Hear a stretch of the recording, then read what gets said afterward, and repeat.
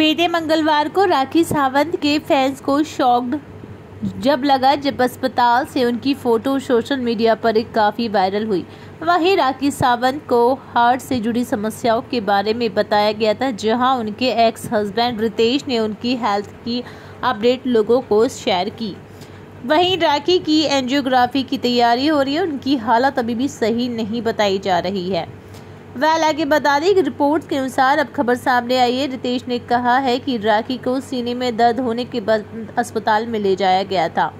वहाँ गर्भाशय में उनके एक ट्यूबर बताया गया है। वहीं डॉक्टर को शक है कि राखी को कैंसर तो नहीं है। हालाँकि उनकी रिपोर्ट अभी सामने तो नहीं आई है। रितेश ने यह भी कहा है कि वह मज़ाक की कोई बात नहीं है। राखी ने अपने आ, इमेज बनाई है और जहाँ लोग सोचते हैं कि वह सिर्फ़ नोटंकी करती हैं, अगर राखी की हालत क्रिटिकल है तो वह क्रिटिकल है। वेल, आगे बता दें कि आदिल खान दुरानी ने एक वीडियो बनाया जहाँ उन्होंने राखी की सेहत के बारे में बातचीत की और सवाल भी उठाए। आदिल ने बताया कि कैसे यह एक पब्लिसिटी स्टंट भी हो सकता है। कोर्ट की डेट नज़दीक आ रही है और अगर यह पब्लिसिटी स्टंट कर रही है तो कोर्ट क्या जनता हर इंसान आपको देख रहा है।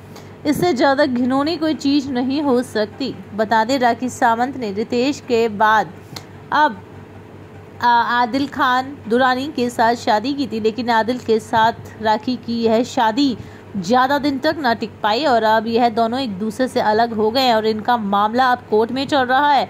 वहीं इन दोनों ने एक दूसरे के ऊपर काफ़ी घिनौने आरोप भी लगाए थे। फ़िलहाल इस वीडियो में इतना ही। ऐसी ही अपडेट्स, जानकारियों के लिए हमारे चैनल एप्स मीडिया के साथ जुड़े रहें। चैनल को सब्सक्राइब करना और साथ ही बेल आइकन पर क्लिक करना ना भूलें।